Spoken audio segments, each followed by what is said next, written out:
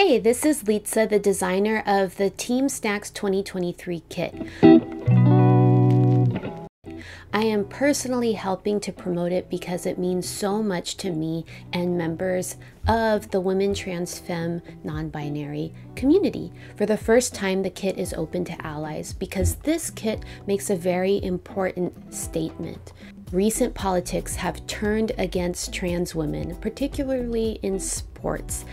A very obvious campaign strategy is to create a bad guy in society, campaign against that group of people, and then win an election that way, which is horribly unfair to these adults and families of trans children because they can't defend themselves. And because trans people are such a minority, a lot of America is just going to believe whatever they hear. Team Snacks formed as a club for women, trans, femme, and non binary cyclists in 2015. It has always been inclusive. I personally was invited into my first mountain bike team by a trans woman. And even though we're in Texas, not even cyclists from other cities in Texas questioned her belonging on the team. My point is, Trans women have been part of our community, they have been part of our sisterhood, they have been women this whole time.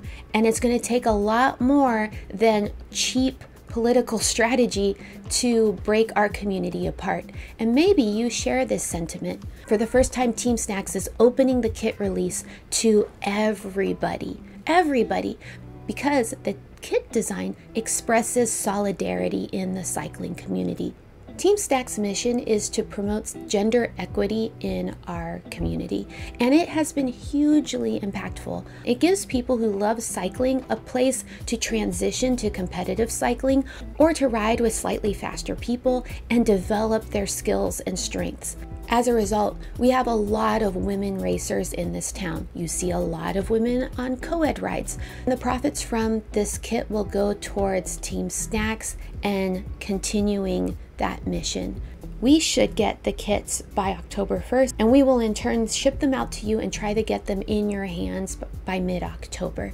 So, closer to Halloween, we would love to see you riding in your Team Snacks kit. Please tag us in the photos and post, and we would love to meet your cycling clubs wherever you live and learn about how y'all are advancing gender equity in your own towns.